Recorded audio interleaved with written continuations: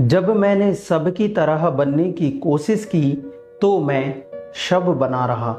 और जब मैंने खुद को खुद की तरह बनाने का सोचा तो मैं खुदा बन गया। दोस्तों, अक्सर हम लोग दूसरों से प्रेरित होकर दूसरों की तरह बनने की कोशिश करते हैं।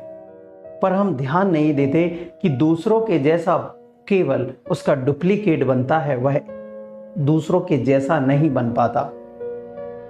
यदि आप इस संसार में आए हो तो किसी एक खास मकसद से भगवान ने आपको भेजा हुआ है।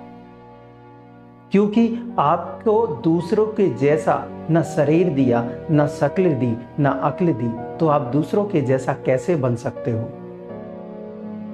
इसलिए ध्यान रखो, यदि आप शब की तरह बनने की कोशिश करोगे तो शब एक मृत शरीर बने रहोगे। और यदि आप खुद को समझोगे तो एक अलग ही जो खुदा का रूप होगा, वो खुदा बनोगे।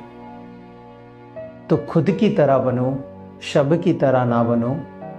दोस्तों, धन्यवाद। आपका दिन शुभ